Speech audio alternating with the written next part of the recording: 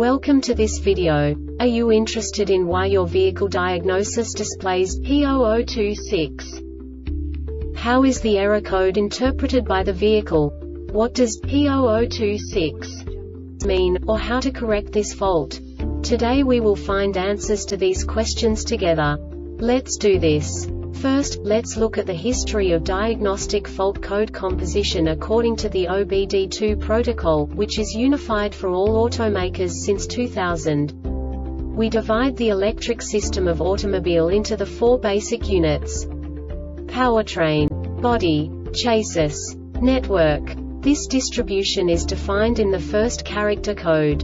If the second character is expressed as zero, it is a standardized error.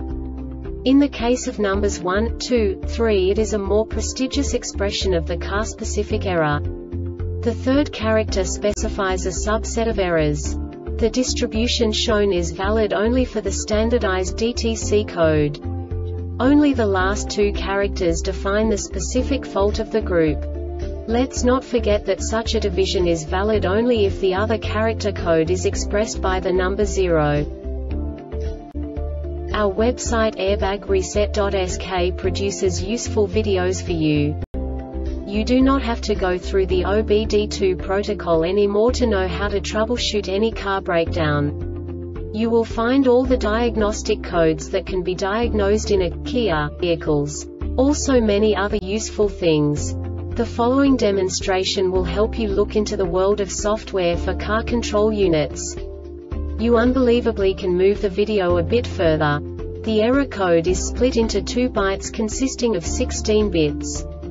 One bit is the basic unit that each computer works with. The bit has two logical states.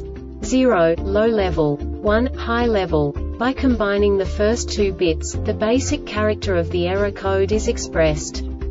The next two beats again determine the second character. The last bit styles of the first byte define the third character of the code. The second byte is composed of a combination of 8 bits. The first 4 bits determine the fourth character of the code. And the combination of the last 4 bits defines the fifth character. A single byte conceals 256 possible combinations. We now know in what way the diagnostic tool translates the received information into a more comprehensible format. The number itself does not make sense to us if we cannot assign information about it to what it actually expresses. So, what does the diagnostic trouble code P0026 interpret specifically Kia car manufacturers? The basic definition is Lost communication with ECM or PCM-A. And now this is a short description of this DTC code.